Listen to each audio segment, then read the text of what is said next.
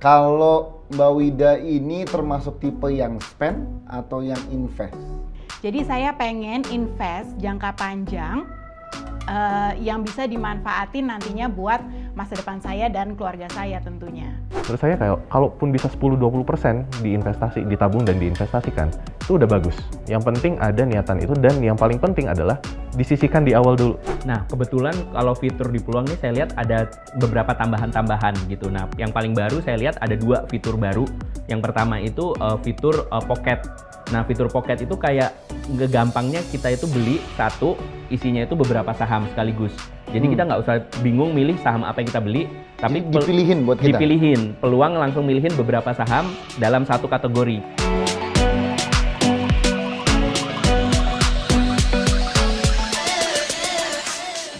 Halo, selamat datang di video podcast Peluang Inspire bersama narasi edisi Ramadan. Saya Juvela Lopez dan masih dalam bulan suci Ramadan nih. Pasti tanggal-tanggal segini kalian tuh udah terima THR. Nah narasi itu coba bikin social eksperimen untuk bertanya ke masyarakat. Uang mereka, uang THR mereka tuh diapain? Itu dihabisin untuk apa? Kalau dapat THR 10 juta mau diinvest atau dipakai nih? Liburan, kosi, beli mau konser. Bayar sekolah anak untuk kasih orang tua, maju langsung dipakai lah. Tuh, jangan hari raya, berarti dipakainya pas uh, langsung dong beli baju, beli apa kebutuhan. Uh, saya bagi dua sih mbak, setengahnya investasi, setengahnya untuk belanja kebutuhan menyambut hari raya Idul Fitri. Invest ya, karena di umuran gue sekarang itu kayaknya dibanding gue boros-boros belanja, mending duit 10 juta gue investasiin. Nah, kalau dari video barusan, mayoritas penerima THR tuh biasanya menghabiskan THR-nya untuk instant gratification.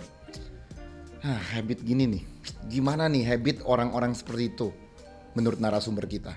Langsung aja kita ngobrol bersama user dari Peluang, ada Mbak Wida Sulistomo, dan juga growth consultant yang juga content creator, Jonathan M.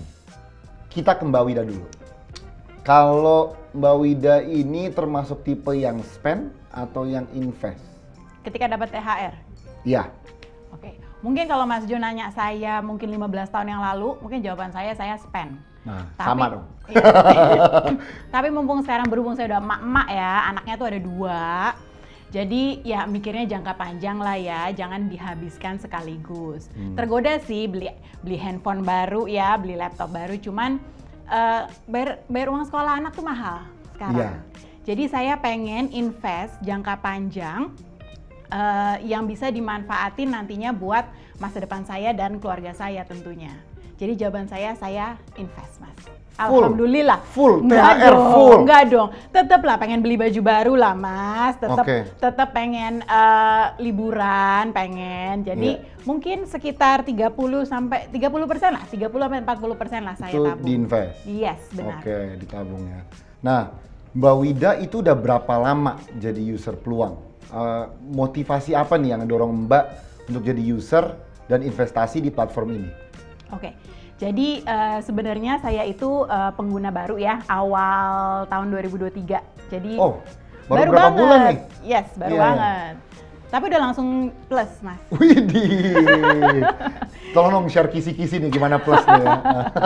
Oke, okay, uh, jadi gini, uh, kan seperti saya bilang tadi ya, saya tuh pengen invest untuk jangka panjang dan saya pengen uh, apa investasi tuh yang gampang mudah dicairin ya. Kalau misalnya properti gitu kan susah ya kalau kita butuh dana darurat ya. Jadi saya mikirnya ya kalau nggak main saham ya reksadana gitu kan.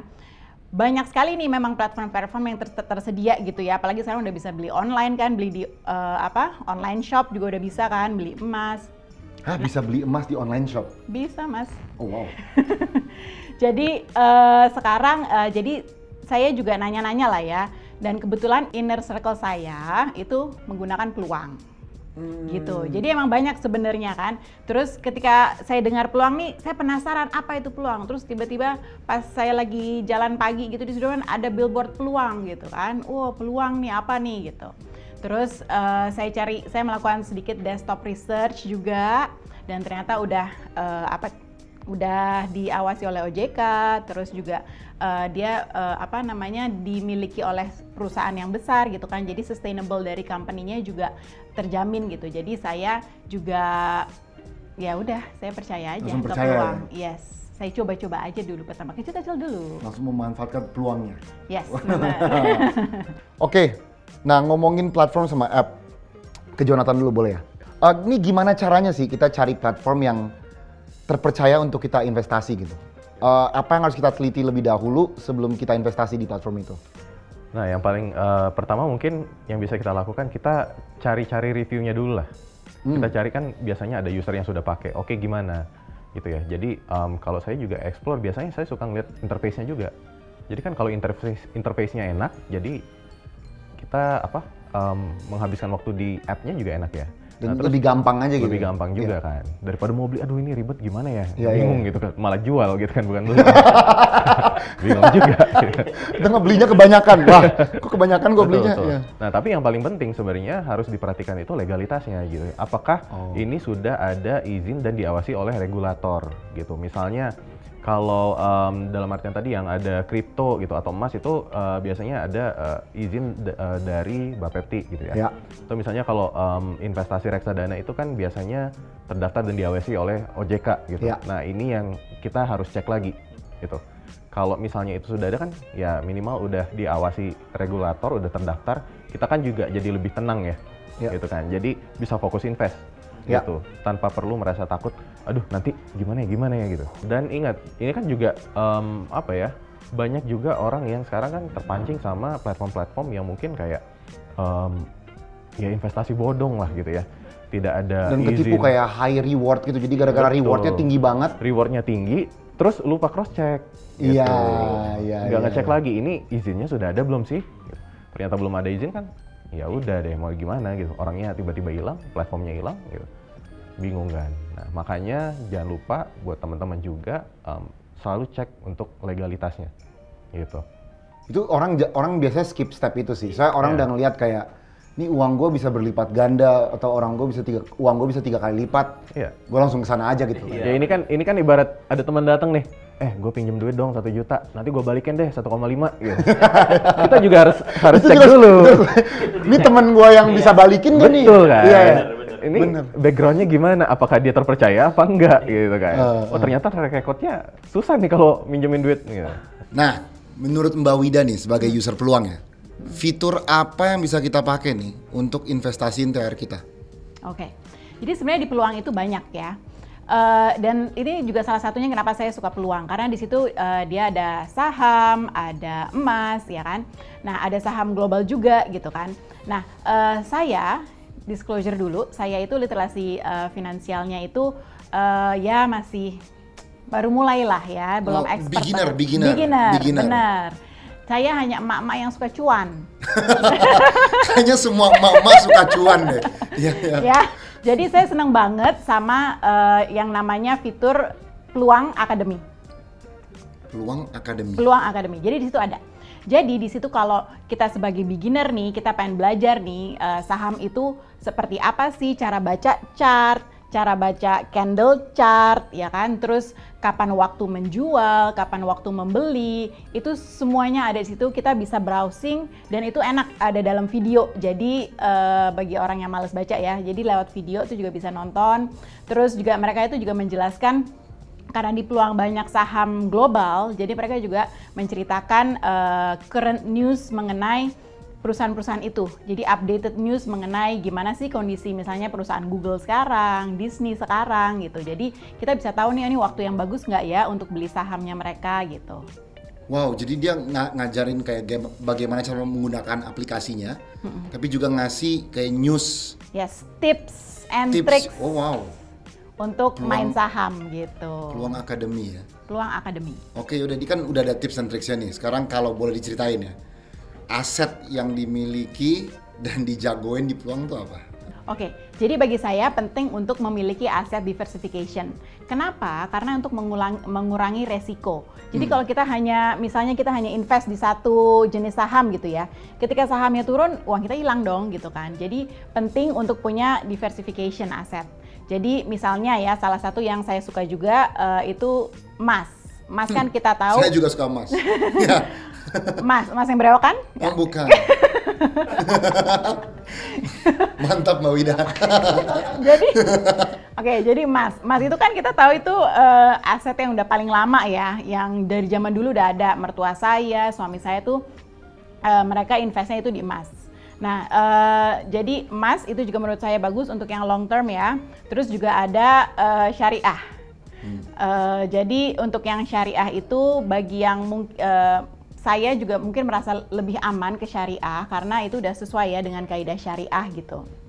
Terus juga eh, ada saya juga suka saya ada single stock juga gitu ya untuk global eh, aset global misalnya eh, saya nggak punya banyak sih Apple gitu ya. Terus ada Disney juga gitu. Hmm. Tapi yang paling saya jagokan itu reksadana pendapatan tetap Oh, gitu. Yang paling paling jagoin ya. Iya. Berarti kalau saya masuk, masuk situ juga. Iya. Top. Nah, saya sesuai udah cocok belum jadi RM-nya peluang? cocok ya? Selain Mbak Wida, kita juga menghadirkan user peluang lainnya. Ada Mas Imam. Halo Mas Imam. Fitur apa nih di platform peluang yang menurut Mas Imam sebagai user ya, yang bisa digunakan untuk investasikan THR kita nih? Oke. Nah, kebetulan kalau fitur di Peluang nih saya lihat ada beberapa tambahan-tambahan gitu. Nah, yang paling baru saya lihat ada dua fitur baru. Yang pertama itu uh, fitur uh, Pocket. Nah, fitur Pocket itu kayak gampangnya kita itu beli satu, isinya itu beberapa saham sekaligus. Jadi Hmm. kita nggak usah bingung milih saham apa yang kita beli, tapi dipilihin buat kita? Dipilihin. Peluang langsung milihin beberapa saham dalam satu kategori. Contohnya misalkan saham eh, tech gitu kan, saham-saham tech yang di US, yang big tech gitu. Nah itu udah satu kelompok gitu. Jadi nggak usah kita pilihin satu-satu. Atau saham finansial langsung dalam satu kategori. Oke. Gitu. Nah itu lumayan memudahkan lah untuk kita. Sangat, sangat lah daripada gue harus nyari-nyari sendiri. Betul. Dari pilihin betul, kan. Betul. Iya, iya. Nah, lalu yang kedua itu kita lihat ada fitur baru juga namanya leverage. Jadi leverage itu kayak kita itu beli gitu kan dengan modal kita sebesar satu eh, langsung kita bisa beli senilai dua gitu. Jadi kali dua lah gitu. Gimana itu? Nah, Hah? sa- saya baru belajar juga. Saya Oh, baru oke, belajar oke. juga nih di peluang gitu. Jadi kayak misalkan kita beli gitu kan eh, saham gitu kan eh, Google gitu harganya 100 dolar lah misal Ya. ya. Eh, uang kita cuman ada eh, misalkan THR-nya nih cuman cukupnya 100 dolar doang gitu. Nah, dengan fitur leverage ini kita bisa eh, belinya itu bisa seharga 200 dolar. Jadi dapat dua saham gitu. Jadi peluang yang ngasih fasilitas untuk eh, kali dua lah gitu saham Google-nya. Nah, jadi kalau memang harganya lagi bagus, itu kita bisa dapat potensi eh, return-nya juga kali dua gitu. Dibanding modal kita yang tadi satu gitu. Gitu Oke. sih. Itu. Nah, tapi memang eh, emang ini kan hati-hati ya mainnya. Jadi eh, kebetulan mungkin peluang juga nambahin fitur tambahan juga namanya technical indicator. Jadi technical indicator itu kayak ngebantu kita lah. Oh, ini saham lagi tren naik atau lagi tren turun gitu kan. Terus kalaupun dia tren naik, itu kira-kira ada target harganya nggak gitu. Oh, ada target price-nya. Target ya. price support resistance-nya gitu. Iya, Jadi nggak iya, kita iya. yang narik garis sendiri gitu kan. Sosok yakin kayak dia bakal nyampe sini. Ah, gitu, kan. Nah ini dibantu gitu, jadi dibantu informasi itu. Nah, sehingga tadi yang tadi pakai fitur leverage, terus kita pasang posisinya gitu. Oh kira-kira kalau naik segini atau turun segini kita batasin gitu. Oke. Itu Nah, sih. ka- kalau kalau Mas mau cerita ya, eh, aset apa nih yang dimiliki dan Mas jagoin di peluang? Oke, menarik, menarik ya. kalau mau cerita ya. Oke, oke. Boleh lah, boleh sedikit ya, Ah. tanpa spesifik gitu ya. Spill dong, spill. Ya. Paling kalau di peluang ini saya banyaknya mayoritas di eh, aset saham AS sama sebagian kecil lah di kripto gitu, biar nggak FOMO-FOMO banget lah. Ah. Tapi memang mayoritas eh, adanya di eh, saham AS gitu. Nah, saham AS-nya ini pasti pertanyaan berikutnya kan? Yang mana nih? Nah. Nah, yang mana? gitu. Nah, yang mananya ini memang eh, bervariasi banget ya. Eh, kalau saya kemarin eh, ambil itu langsung saham tech. Kenapa? Karena dari awal itu dia saya lihat dulu pertama grafiknya. Jadi di peluang kan ada eh, layarnya itu eh, per saham ada kita dikasih gambar grafiknya. Nah, saya lihat eh, selama setahun kemarin ternyata tuh dia udah negatif 30% gitu. Nah, kalau kita lihat eh, secara fundamental atau per- kinerja perusahaannya di peluang itu juga ngasih informasi. Contohnya kayak Google gitu kan, turun eh, selama setahun kemarin itu bisa sampai 30%. Terus saya lihat performanya. Lah ternyata pendapatannya juga nggak turun sampai 30%. Nah, kenapa bisa eh, harga sahamnya itu turun gitu kan. Nah, kita lihat lah gitu kan. Masih ada potensi dong harusnya nih naik gitu. Nah, jadi kita lihat fundamental perusahaannya nih. Apakah perusahaannya memang lagi parah, lagi jatuh atau memang itu karena memang kondisi market aja gitu. Ya. Nah, kalau kondisi market aja kita kita mau gitu kan ada modal tadi lewat THR tadi. Nah, langsung ambil serok bawah kayak gitu sih. Nah, itu satu saham tech gitu kan ada beberapa yang memang saya invest di situ. Terus saya juga main di eh, sektor perbankan gitu. Perbankan US ya. Perbankan US juga. Oke. ya. Karena kemarin yang itu yang eh, sempat krisis ya. Silicon Valley Bank. Yes, uh. Silicon Valley Valley Bank itu kan uh, rumornya langsung bilang, oh ini nanti next Semuanya bakal hancur semua Hancur. nih. Satu hancur semua itu iya, hancur kan. krisis gitu, efek Ya. domino gitu kan Ya. ceritanya. Nah makanya saya lihat waktu uh, kemarin itu bener nggak sih sampai efek domino atau segala macam gitu. Nah saya lihatlah performa di perusahaannya itu sendiri. uh, saya juga baca-baca riset yang dikeluarin tim peluang gitu kan. Ternyata memang uh, agak unik gitu saham Silicon uh, Silicon Valley Bank itu beda sama bank-bank besar lain gitu. Kondisinya sangat berbeda lah di di riset yang ditulis tim peluang gitu. Makanya saya uh, begitu ngelihat saham-saham itu turun 2, 3 persen, 5 persen, baru saya berani gitu. Kenapa? Karena kondisinya nggak beda, uh, akan berbeda lah sama Silicon Valley Bank yang hancur gitu. Jadi saya ambil saham perbankan. Nah kebetulan udah lumayan ijo-ijo lah gitu untuk beberapa yang saya ambil Jadi gitu. asetnya hijau semua nih. Eh, lumayan. ya bolehlah uh, kirim ke sini juga ya nih aset-aset hijau ya. Kalau dari Jonathan nih uh, sebagai user peluang juga keuntungan yang dapatkan di uh, di app ini apa aja nih? Nah, em, mungkin hampir sama ya. Yang paling penting itu adalah efisiensi waktu. Oh. Efisiensi wak- waktu kenapa? Karena tadi semua itu udah ada datanya, udah ada analisis gitu kan. Jadi udah diringkas. Jadi cocok nih buat kita yang sebenarnya ya waktunya tidak banyak lah. Kan ada orang-orang yang benar-benar Deep research. ya analisis gitu kan. Ya. Tapi kan kalau kita mungkin kayak ada pekerjaan juga, mungkin habis itu ada waktu sama keluarga, ada yang sambil ngurusin anak gitu kan. Ya. Dan waktu yang tersisa buat analisis segala macam kan cuma sedikit ya. Hmm. Nah jadi akan em, jauh memudahkan kalau misalnya ada fitur-fitur seperti yang ada di peluang ini yang bisa membantu kita langsung menganalisis. Jadi oke em, mungkin riset 30 menit 60 menit bisa diringkas dalam waktu satu menit kita baca, udah bisa langsung putusin apakah ini kita harus beli gitu kan, apa kita jual dan lain-lain lah. Dan em, efisiensi waktu juga dalam artian kan tadi ya eh, banyak sekali eh, produk yang ada gitu ya. Jadi memudahkan nggak harus eh, beli saham US di sini, terus beli kripto di aplikasi lain, Iya. nanti emas lagi di mana? Ketuker-tuker gitu. nanti ya Tuker-tuker lupa gitu kan. Terus eh aplikasi yang kemarin sempat kehapus kayak gitu-gitu lah. Jadi nah ketika ada satu kan enak. Lupa password gitu ya. Lupa password. lupa password gitu. Em, tapi kalau misalnya semua ada di satu aplikasi kan enak. Kita mantaunya juga gampang gitu kan. Iya. Eh lagi ngecek ini eh tiba-tiba Ini oke dari, kita tadi gue denger ini sih yang menarik gitu. Semuanya tuh kayak one stop shop gitu. Ada uh, instrumen-instrumen ini di satu tempat. Iya. Gini, peluang ini kan jelas-jelas sangat menguntungkan. Ada banyak hal yang kita bisa invest di situ. Nah, tadi kan kalau kita balik lagi ke awal, kita lagi ngomongin THR. Dan orang kan punya mindset untuk selalu menggunakan uangnya secepat-cepatnya kan. Ditampar uang gede, ya kita pakai aja gitu kan. nah, gimana nih cara ngubah mindset orang gitu? Yang supaya THR-nya lebih dipakai untuk investasi. Itu gimana ya? Yang paling penting itu kita catat dulu sebenarnya pengeluarannya itu akan dipakai buat apa aja sih, gitu ya. Hmm. Uangnya akan dipakai untuk apa aja. Misalnya yang paling gede itu biasanya itu tiket mudik. Mau itu pesawat, kereta kan harganya pada naik ya. Pasti. Nah, jadi em, buat teman-teman yang nggak mudik misalnya, ya udah saya di Jakarta Jakarta aja atau di kota mana, em, itu kan ada ada kesempatan untuk kita nabung nih, gitu kan. Misal tiket pesawat yang tadinya satu juta bisa jadi satu setengah atau dua juta ketika Iya. mudik. Nah, ketika kita nggak mudik, nah itu kan berarti ada 2 juta yang sebenarnya bisa kita hemat, bisa kita tidak gunakan gitu. ya. Jangan wah ada 2 juta nih nggak mudik ya udah kita belanja. Jangan gitu juga gitu. Ya belanja juga ada, cuma kan bisa ada porsinya juga lah. Ya baju baru 300 ribu juga udah bisa dapat, 500 ribu juga udah bisa dapat, nggak harus baju yang 5 juta gitu kan kasarnya. Nah jadi ketika kita udah nyatet gitu ya, kita jadi tahu apa nih yang kira-kira penting, apa yang kira-kira nggak penting ya udahlah ntar aja gitu. Nah mungkin kan em, ada momen sama keluarganya ya, misalnya kayak eh, tadi ada tiket pesawat, terus juga mungkin perlu belanja buat masak-masak, bahan makanan. Nah ini kan juga harganya lagi naik nih menjelang lebaran. Nah ini jadi kita alokasikan dulu, gitu kita alokasikan, sisanya tadi diinvestasikan. Mungkin nggak harus 70-30 juga kan kalau eh, Mas Imam bisa tuh 70% diinvest gitu. Menurut saya kayak kalaupun bisa 10-20% diinvestasi, ditabung dan diinvestasikan, itu udah bagus gitu. Kalau bisa lebih, lebih bagus lagi. gitu. Yang penting ada niatan itu dan yang paling penting adalah disisihkan di awal dulu. Gitu. Iya, jangan tunggu sisa ya. Betul, karena kalau tunggu sisa bisa jadi nggak nyisa. Iya.